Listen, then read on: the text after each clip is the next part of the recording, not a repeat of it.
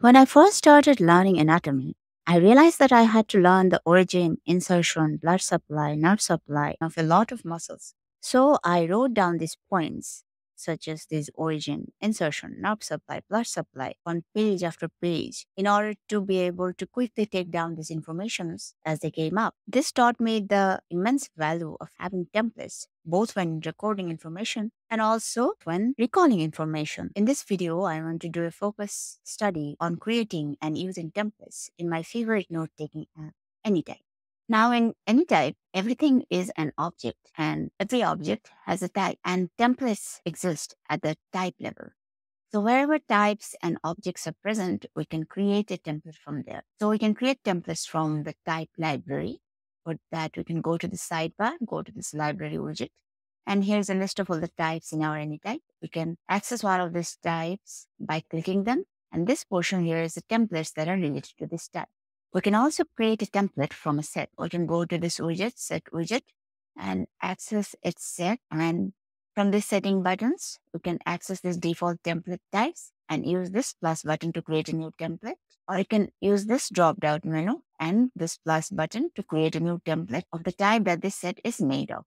We can also create a template from a collection by going to this collection widget. Accessing a collection, we can similarly access this setting button, go to the default type, Change the default type from here and create a new template from this button.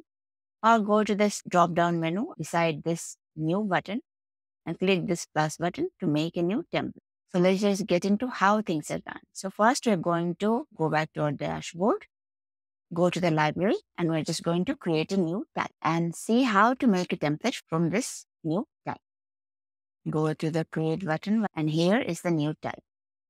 So we're going to pretend that this type is used for writing our book reviews and we're going to give it an icon and this book icon. Now, first thing we see is this blank template. The blank template makes an object with a layout that is chosen at this recommended layout portion. To demonstrate, this recommended layout currently has the basic layout selected. You should go to this button and click this new object. We're going to get an object that has the basic layout as in it has a title, an icon, and a cover. And the action layout is for projects. Now I'm going to create a new object. And now it is the action layout with a checkbox here. And we're going to add a cover to it. Slash CHSCK checkbox. Task 1. Enter. Task 2. And so on and we can click this checkbox to mark the action complete. We can also use this profile layout and if you create a new object, it gives us a profile layout with an option to upload a picture, add a cover photo, and the title, of course. Here should be a name of a person. And let's say we want to use this to remember birthdays. So I'm going to click slash access the relations by typing RELA relation. Go to this new relation and type in B-I-R-T-H-D-A-Y. Birthday, enter. And there is a place to now enter the birthday of the person we are writing about. Now, the, if we choose a layout to be note, we lose the area to add in template because note layout is just a bunch of words that are taken down in a hurry. It is not meant to be a structured entry point. So if you create an object now, we can see that it just has the name of the type, the template demonstration type, and just a area to write few words. But we are, of course, not limited to this layout right now. We can click this button and change the layout to be something else. But any new object now created will by default have the note layout. I'm just going to go back to our type, go back to basic. Now, if we want to create a template that has a notes layout, that is also possible. But for that, the recommended layout has to be one of these three, either action, profile, or basic, where there is an option to create a template. From there, we can click this plus button to create a new template and then go up here to the layout button and change the layout of this template to note. And now there is a template with the note layout of this template demo type. And if we go down here, we can see a list of all the objects that we have created. Now we have created a template with the note layout. And if we click this template, go to the three dots menu and go to this create object option. Now I've created an object with the note layout. Now that we're done with the pre-installed blank template that Anytype provides, let's move on to creating a new template. We have just seen that we can create a new template by clicking this plus button. We can also create a new template by clicking this plus button. Let's turn this into a template for fantasy books. Let's give it the book icon and give it a cover and choose some relations to be added to this fantasy book template. Mm-hmm. Now here is a template for the fantasy books. We can also create a template by going to the three dots menu and choosing this duplicate option. This duplicate option is also present in the blank template, but the blank template cannot be deleted or modified further. And this template, in addition to being able to be duplicated, can also be deleted and modified further. So now let's go to the three dots menu and duplicate this template. Duplicate we're duplicating this because we want a template with similar relations with just a slight difference. This is going to be for inspirational books.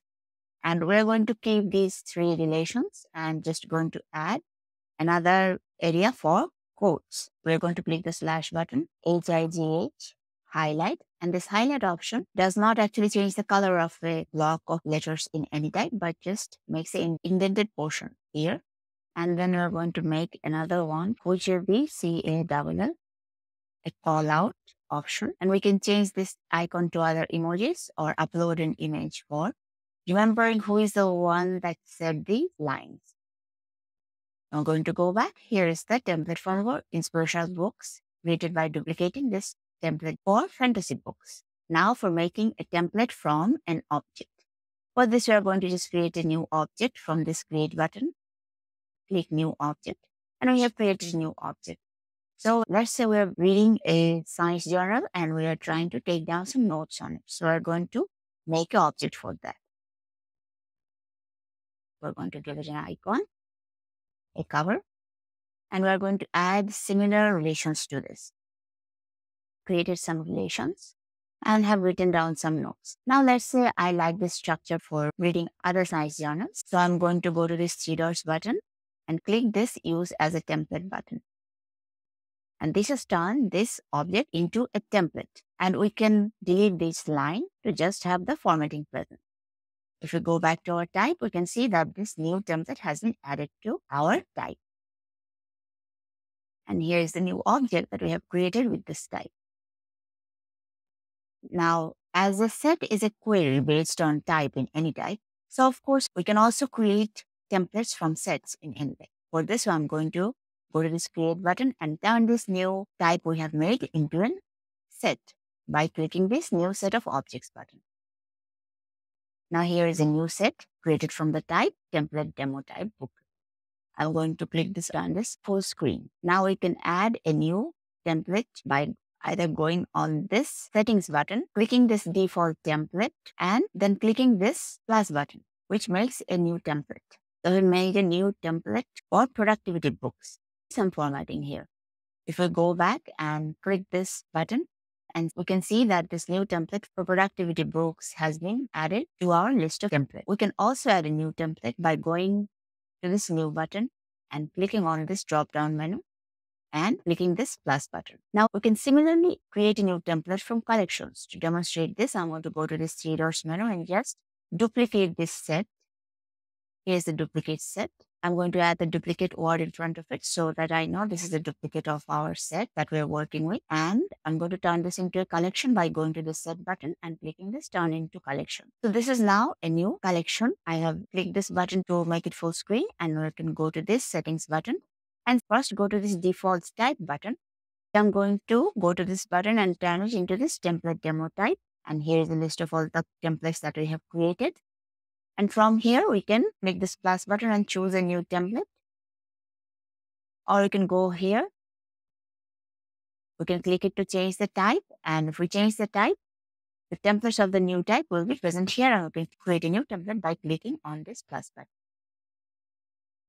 Now we are going to go back to our type that we have created.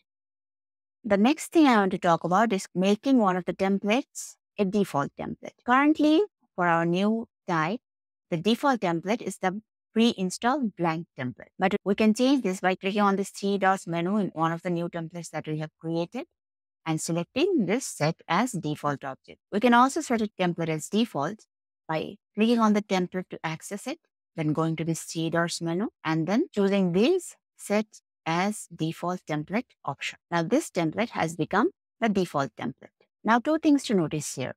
After choosing this default template, if you create a new object by clicking this create button and new object, the new object will by default have the default template. But we cannot change the template from here. In order to have an option to change the template, we have to go to this plus button and create a new template of the type. I'm going to go to this My Types button, type in templates demo, and here is the type we're working with. And now we get a choice of template. You can click this button to browse through our templates and choose the default template or another template if you wish to. And here is the new object we have created in this process. Now having these templates can have a sort of sorting function in Anytype. For this, we are going to access our sets access this set. And in this set, we can choose a default template for each view in this set. So for this view, if we go to the settings button, we can see that the default template is a blank template. Now let's make a view and name this fantasy book and change the previous one to all books, like right clicking on the all button and changing the all to all books. Now for this all books, if you go to the settings, you'll find that the default template is blank. So if you create a new object here, it will by default have the blank template. But let's go to this fantasy book view and let's click on this settings menu and we can see that here the default template is also blank. So we can say that if I create a new object, it will have the blank template. But if you click this default template button and choose the fantasy book template as the default, now if you create any new object here, it will by default have the fantasy book template. So we have created a new object and we can keep going, but creating another view called the productivity book. Enter. And here we can set that template as this productivity book template. So any new object we add here will by default have the productivity uh, template. So technically, in this manner, we can filter our books by fantasy book, productivity books, or inspirational books, or scientific books, or anything else we like to read. But here's a little problem. Although the new objects we add here will have the default templates that we have chosen, it does not filter out the previous books from this view. And if we right click on one of the relevant objects and try to delete it, we'll just end up deleting the entire object from our Anytype database, which is not what I want. Now, another neat thing is even if we have chosen this productivity template as the default template for this view, we are not limited to this. We can click this drop down button and obviously we have a choice of all the templates that are present in this type. We can, if we wish to use another template, to create a new object. So we have made this object, although the default template is set to be the productivity books template, we have created this with the note layout by clicking on this drop-down menu. Now, all the same things can be done from a collection. We are going to the collection that we have made. And similarly, we can add a different view. And for this view, we can choose a different template. But if you remember, the difference between sets and collection is that a set can have only one type of object, but a collection can have different types of object. So I'm just going to make the object type visible here. So all these have this template demo type. Now I'm going to go back to OR and make the object type visible in this view as well. Now I'm going to create a new object. I'm going to click this object. I'm going to change the type to journal. So now here, just this new term object we have made is the journal demonstration. If we go back to the scientific books portion, we can also see the same arrangement. So in collection, we can choose a default type for each view. So let's go to this settings button, make this default type and turn this into the journal demo type and choose the daily thought template as default. So now if we make a new object, it is going to have daily thought template from this journal demo type. So we can right click on this name and change it to journal. Enter and here we go. So from now on, every object we had will have the journal demo type and the daily thoughts template. Similarly, we can make another one, name it, put enter, and change the default type to this demo and choose this template as the default. So if we make a new, it will be from the gratitude type, here it is, and have this gratitude template that we have created. Now here we face the same problem as we face in the set where even though we can choose a default type and default template for a particular view, but that does not filter out the objects that have other templates. Now I want to clarify that though we cannot filter our collections according to the default template, but we can filter our collection according to the type of our objects, as in these types. We can access this filter option from this settings button and go into this filter or we can go access this filter option by going to this button and here is the menu for selecting our filter. We're going to go to this three dots menu, go to this name option and change it to object type. And then we're going to go to this all option and I usually use as any of. Then we're going to click this add button and choose the gratitude demo type. So as we can see that there is this one object that is of the gratitude demo type. Now if you go to the settings button and the default type is this gratitude demo and the default template is with this hands together sign on it. Now let's say we want a view that has the gratitude type of object but the blank template. So let's right click on this gratitude option and go to duplicate view. As we can see, duplicating the view has applied the filter that was part of the original view. Now if we try to filter the objects here according to the template, there is no way to do this. We can change the default template to blank, but all that will do is make sure the newly created objects here will have the blank template. I think these features are insanely capable and with time will get even more powerful. These are all on templates in Anytype. If there are new updates, I will make a video about them after I have quickly tested out the new features. I hope this was helpful to you. Have a good day. See you soon.